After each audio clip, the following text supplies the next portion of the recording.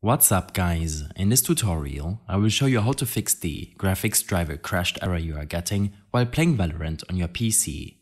This should be quite an easy tutorial. For more information, click on the first link in the description below.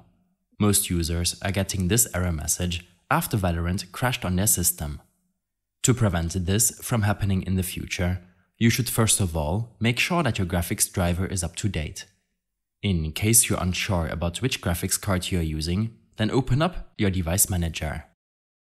On this window, expand your display adapters. In my case, I am using an NVIDIA graphics card. I suggest using the GeForce Experience application for NVIDIA graphics card users and the AMD Radeon software for AMD Radeon graphics users. Download links to both applications will be linked in my extensive guide in the description below. I will first go over the GeForce Experience application for NVIDIA GPU users. Open up the app and navigate to the Drivers tab.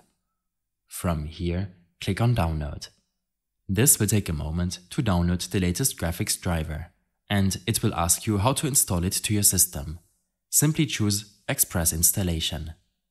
In the Home section of your GeForce Experience application, click on Details for Valorant. This will allow you to optimize your in-game settings to your PC's available resources and overall specifications. For AMD graphics users, make sure to use the AMD Radeon software and follow the same steps to update your graphics driver. After making sure that your graphics driver is up to date, you should also proceed to update your Windows operating system before restarting your PC. Open up your Windows settings. In the Windows Update section, select Check for updates and proceed to download the latest update available to you. You should also make sure not to overclock your graphics card. Some users like to tweak their graphics card core clock speed and voltage. Disable these changes to your graphics card to make sure that they will not interfere with Valorant on your system. After making these changes to your OS, proceed to restart your PC before trying to launch Valorant again to fix the graphics driver crashed error you are getting. In case you have any further issues or problems following this tutorial, then I suggest following my extensive guide linked in the description below.